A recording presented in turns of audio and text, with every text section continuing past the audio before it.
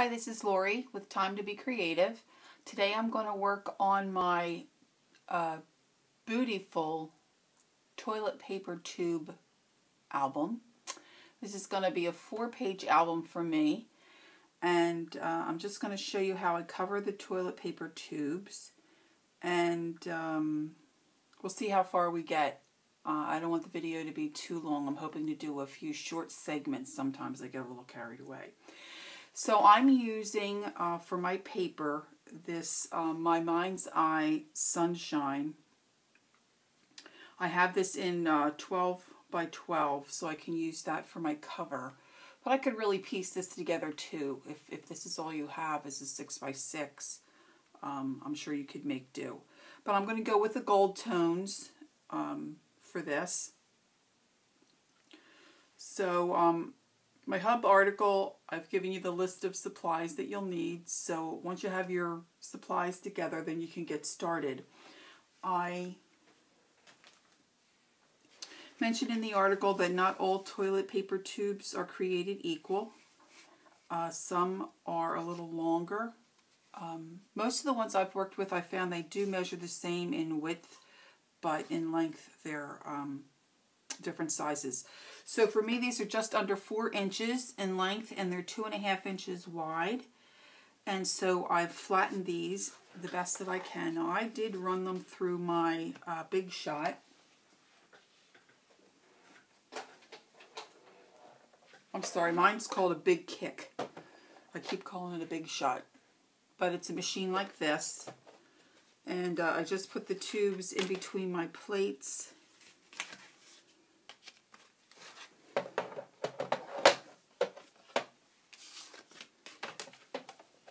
like this, and then you just crank it through. Of course, not everyone has access to one of these. So you can use your bone folder to really crease them. Uh, you could sit some stack of books on them, but you want to try to get them as flat as you can get them. And the reason for that is that when you go to glue them, attach them into your book,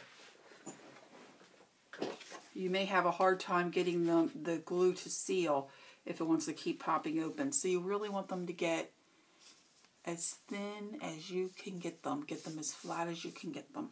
Okay, so I have mine flattened. I have them all the same size. And you, so now I've measured my paper. I've picked out the, uh, I'm doing a four page book. And I picked out the paper that I'm going to use out of my pad going with all the golds, and I've measured them four by six. And then you want to score in a half an inch and then three and a quarter inches.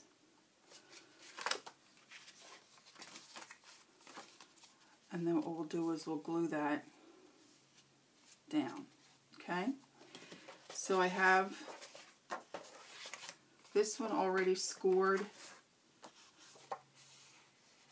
This one I've scored.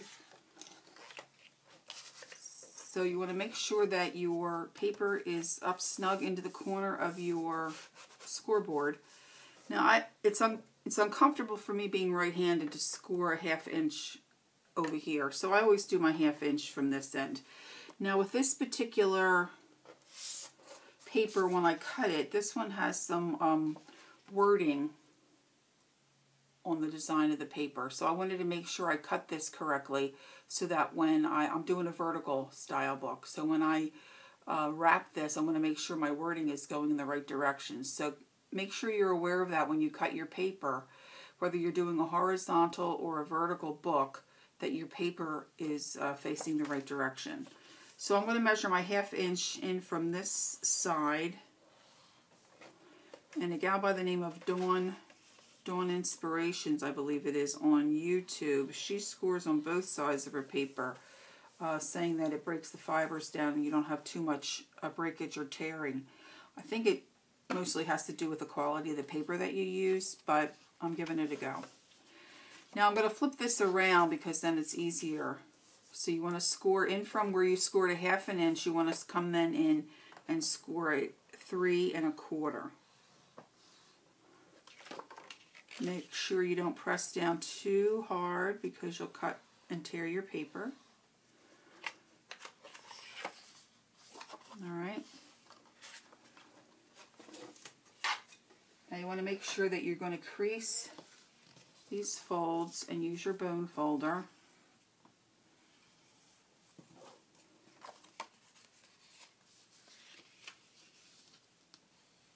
And crease your paper very well. Give that a good press.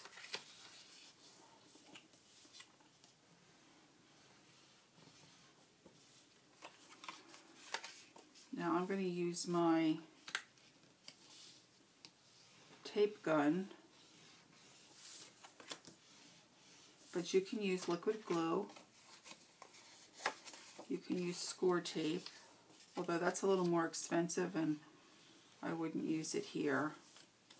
I tend to be a little stingy with my score tape. Now the other thing too, and I've see, I've watched some videos uh, of gals making these.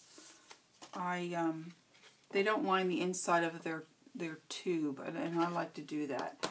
So with my coordinating paper, like for this one, for instance, um, this paper pad is two-sided, which is nice, double-sided.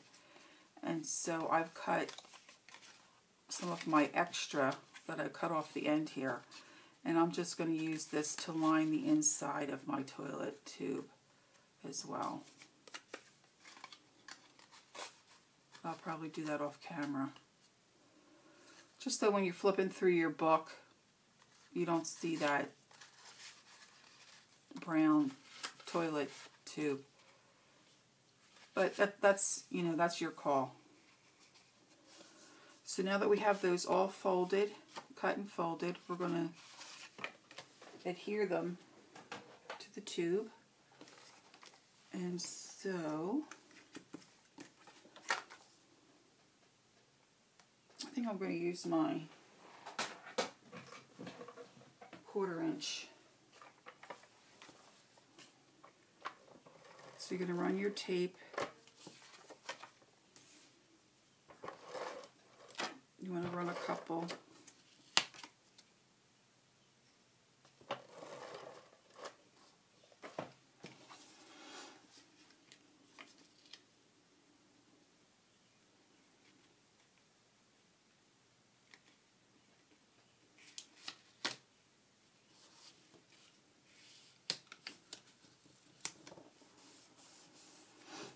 and then you want to press that down.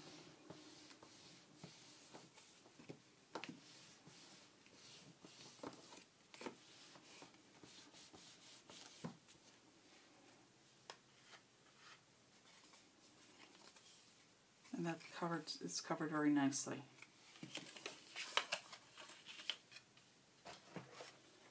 just run a couple of strips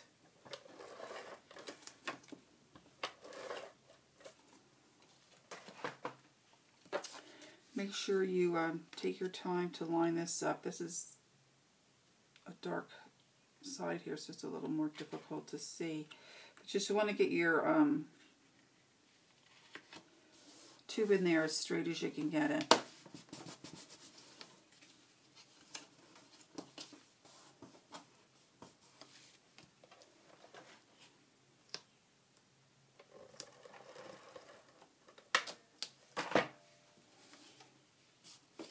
And if you're new to scrapbooking, this is an, uh, an advanced tape glider gun. And it's really, it comes in handy. They have a, a variety of sizes.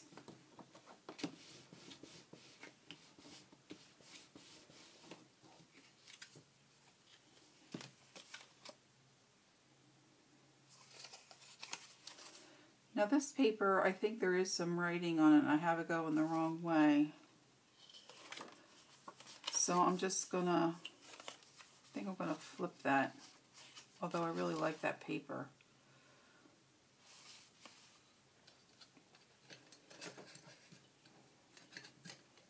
If, you, if your paper cuts and you have a little bit of a rough edge, you can use an emery board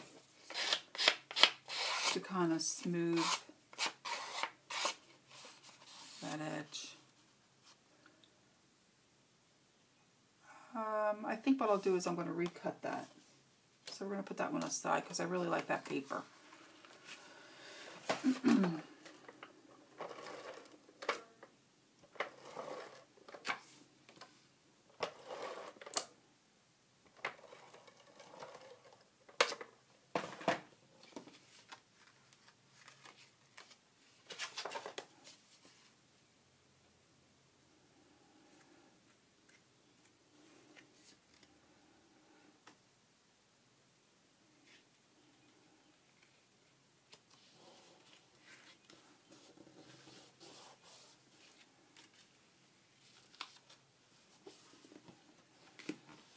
make sure once you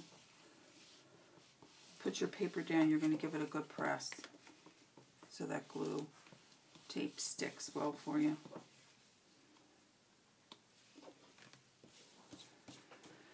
Alright, let me get my...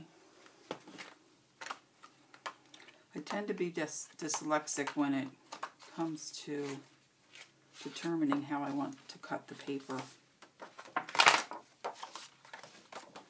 Sad to say, even though I'm aware of it. so I want my paper this way. So I need to cut this way.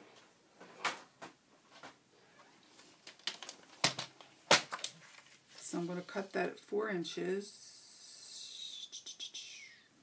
See if I can get it right this time.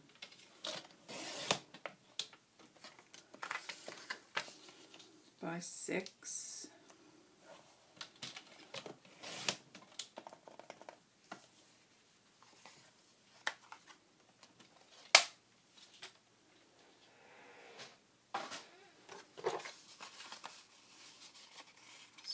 That's how I want it.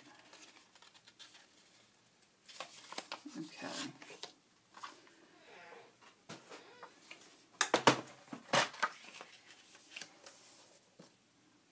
So now I'm going to score again at a half inch. Doing it from the outside edge because it's easier. Making sure my paper is snug up against those edges so I score straight and then I'm going to do three and a quarter inches. Both sides.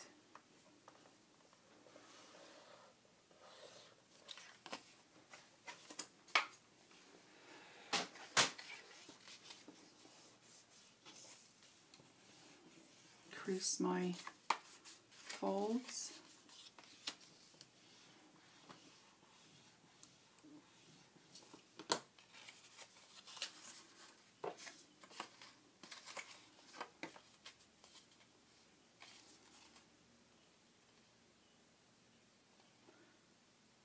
print so small. There we go. It's that way. So that's the way I want it. Much better. Okay, so I'm going to add my tape. Seems like the quarter inch gun is a lot squeakier than the half inch.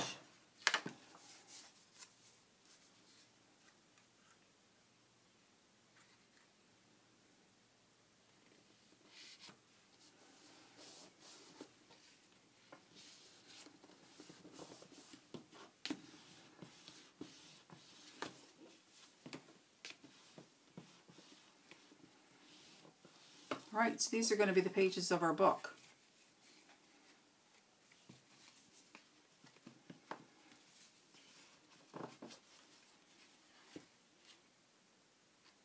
And they'll have uh, photo mats inserted.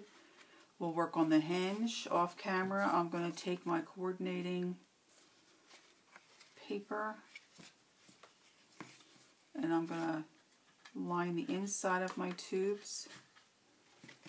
I tend to be a little anal about that those things. So I'm going to do that. And I will also ink my edges. So I'm going to do all that off camera. When I come back, the next video will work on the hinge and add our pages. And uh, from there, I think we'll do the photo mats and then we'll do the cover. Uh, so that's it for this video. Thanks for joining me. I'll see you next time.